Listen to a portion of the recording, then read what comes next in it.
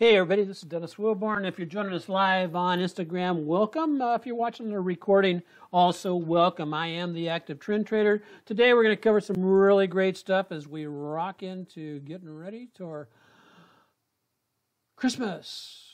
Hope you're all ready. I know here we're here celebrating with some of our uh, grandchildren. Uh, uh, Alani and David, and uh, we're having some good time. We had a good time last night looking at that uh, Christmas star. I hope you were out there and we were somewhere where it was really clear so you could see it. Uh, here in uh, in Boise, it was clear. We could see it. We saw all the moons. We saw the rings of Saturn. And uh, coming from Hawaii, and we're out here in the middle of a, a farm field in Boise, and I was cold and I was freezing my butt off. But we're not here to talk about me freezing my butt off. We're here to talk about what's happening in the marketplace. Uh, as uh, you know, what we do uh, on this uh, channel, hey, I'm having, a, having an issue. What should I be calling this? Market review sounds a little bit boring. How about if I just tell it, this is my uh, uh, three times a week or daily, you know, I'll do it Tuesday, Thursday, Tuesday, Wednesday, and Thursday, 12 o'clock noon on Instagram Live and it's going to be a live market update, but I'm basically going to be also looking at stocks that I'm actually in trades on so that I can let premium and top five members know where I'm adjusting stops so you'll know about that. And then I'm going to have a, you know, as an old naval aviator, I want to have, you know, a stock or maybe two stocks that are on my radar that I think have the potential of taking off, doing really well in the future. And I've got one of those today, so stay tuned to the end to be able to hear it. It's the first time joining us on Instagram or any of the uh, whatever, wherever you're watching this at, uh, make sure you basically hit the follow, hit the like. If you have a stock that you want to put onto my radar and have me do a technical analysis, technical analysis, and a uh, um, uh, analysis on the fundamentals, drop it into the comment section saying, hey, Dennis, take a look at Tesla or take a look at Netflix or, or Apple or anything you would like me to take a look at. I'll do one stock every day where that is basically come onto my, uh, uh, come onto my radar and uh, let it be one of yours uh, starting tomorrow. So I'll be looking forward to it. So what are we going to do? We're going to we covered the three points we're going to take, and so let's jump right into the indexes themselves. Right behind me, as you see, is the uh, the SPY that represents the S&P. I follow three indexes. I follow the S&P, I follow the Nasdaq, and I follow the Russell. I think that gives us a well-rounded, uh, uh, in you know, well-rounded picture of what's going on in the economy, following from small caps, technology, all the way up into the S&P. I don't necessarily trade follow the Dow. Not that it's not a great index, not that it doesn't move and all that kind of stuff, but it's just it's too narrow base for me. I want to see uh, you know, something that's a little bit wider base. And that's what the uh, the uh, uh S&P, the Dow, the Nasdaq, and the IWM does for us. So what are we looking at this? Uh, yesterday we woke up, the markets were hard down. Uh, why were they hard down? Because the coronavirus has a new strain and it hit in you know I think it was Great Britain. Uh, and so that drove the market down. Market came down, retested here at the 34 on the S&P, and drove itself back up. What's interesting is where did it drive itself back up to?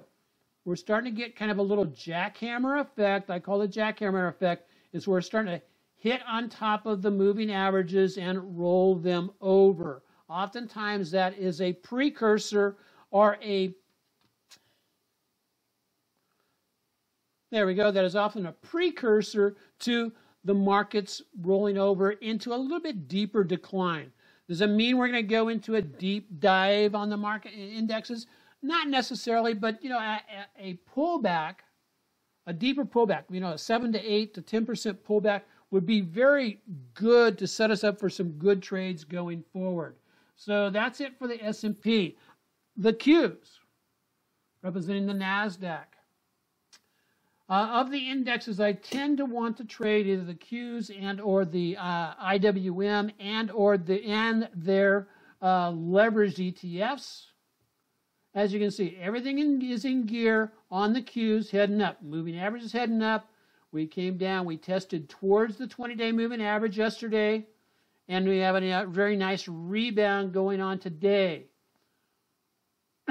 One thing to keep in mind, I'll see if I can blow this up and show it to you, is Friday's candlestick was a more or less a hanging man type pattern that also was a, a uh, bearish engulfing of the previous day's session.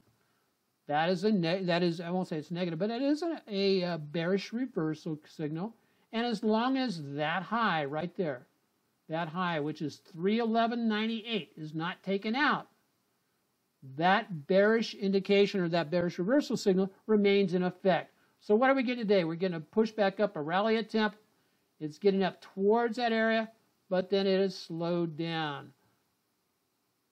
Other things of, I won't call them of concern, but just to be aware of is one, we're getting some negative divergence going on on a daily chart as we were making this new high. Oftentimes that is also a precursor for stocks, you know, for something to roll over. The other thing we'll take a look at what's showing up on the weekly chart.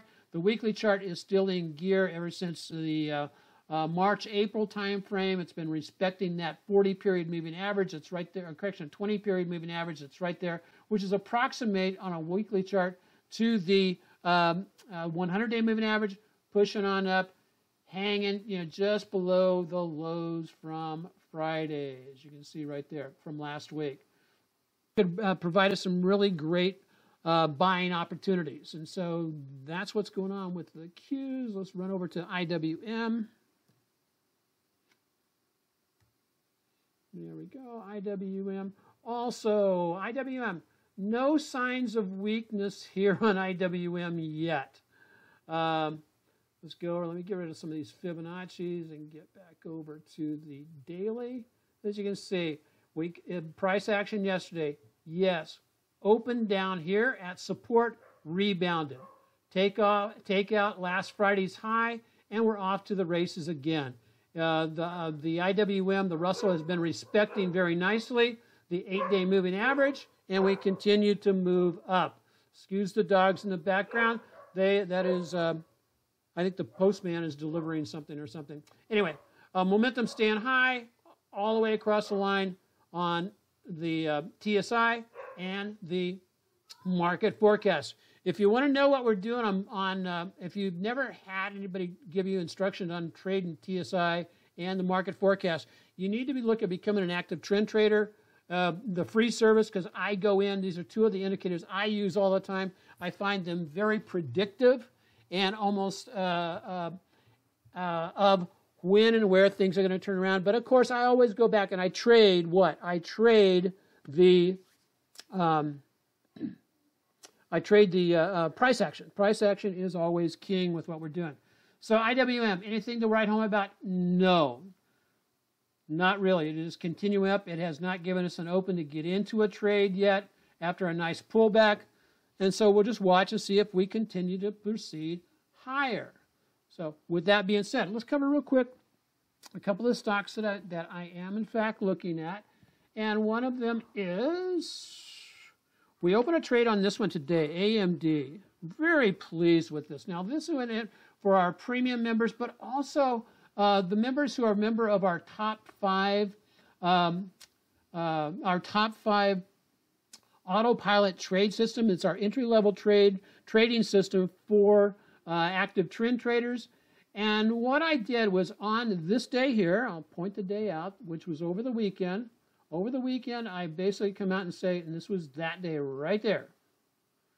Okay, in between that day and that day. So on, on Saturday, Sunday, I came out with my pre-flight checklist that said, I like AMD, and but I like AMD if it pulls back to $91. Yesterday it pulled back to $91.08. Today it pulls back to where? It pulled back to $90.53. That got our traders, or the people who are parallel trading with me. I don't make recommendations, but I do make what I'm trading known to people, uh, known to our, our premium members and our, our top five uh, members. And so I said, you know, that's where I'm entering. And we use that as a training session. I'm entering at $91. We got triggered into that trade today and we've rebounded nicely up to almost 93. So we're in it, uh, we're almost up $2 just for today. So My expectation is for this to take off and go ahead and run up at least to last, you know, the highs from last week of about 97. Uh, however, AMD, it's in a very nice, strong uptrend. Take a look at this on a weekly chart. Nice, strong uptrend. And if it busts on out from here, because we've gone up from $36 up to into the 90s, so that was a three-time uh, move. And we may get something similar going forward. No promise or no expectation, but we'll just measure it along. We'll trade the technicals on this uh, very specifically. So that's AMD.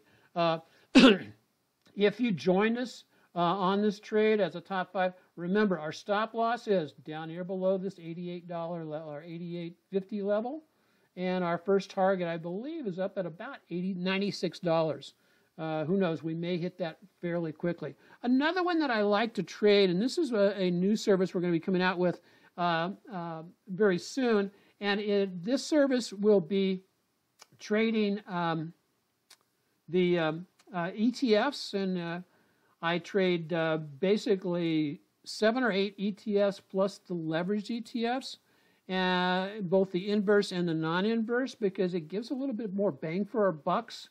And so it's autopilot ETFs uh, is what we're, we're doing it with. And what this was on is, let me go grab my, there we go. Uh, it was on the energy ETF with its XLE, which you can see was starting to fall. Well, I didn't want to trade this falling and buy puts on and that kind of stuff. And so it has an inverse uh, um, ETF and it's leveraged. And what we did is we picked up our, our, we basically bought this down here at $31, all the way down here. It made a nice move up to a little bit over 36. And what's really awesome about these leveraged ETFs is if we jumped on it down here at 31, let me grab 31, ran up here yesterday, 15% move in, uh, how many days is that? Nine days, seven, seven bars, so seven trading days. Excellent. We exited part of the position. We're holding on to the rest. If we get another strong move on this, or what it is, is XLE is actually falling. Uh, and so it's bearish on the energy sector and this allows us to still trade the energy sector as it's going down. This entity will be going up. Really excellent, excellent uh, uh, opportunity. And again, this is looking positive, like it's going to start to move up very nicely. So, uh, again, we have our stops in place. Remember that we moved up our stop to about 6160, uh, 6150, so that even if it rolls over on us, we'll still be profitable in the second half of the trade. And that's one of the ways we, you know, coach folks up about how to trade along with us. And all that comes out on our, our, our autopilot pre-flight checklist that comes out every Saturday. And we have one also coming out on Sunday. Now, the stock that I'm really looking at and very uh, interested, we talked about AMD. Here is one of the entities that we have been looking at. Um, and it has shown very, some really strong uh, opportunities. It may be shaping up for a nice move to the upside. Again, I'm just watching this because it is doing a nice base. And this is my on the radar stock uh, for today's session. As you can see, this is ZYXI. It's shown up on several um, uh, of the IBD Investor Business Daily uh, uh, stocks to watch type list. Uh, we moved it over to our top our, our, our um, uh, Power Ranked Elite watch list that I put out to my free members on Friday. Uh, it's somewhere between 15 to 20 stocks that I'm watching going into the, the following week.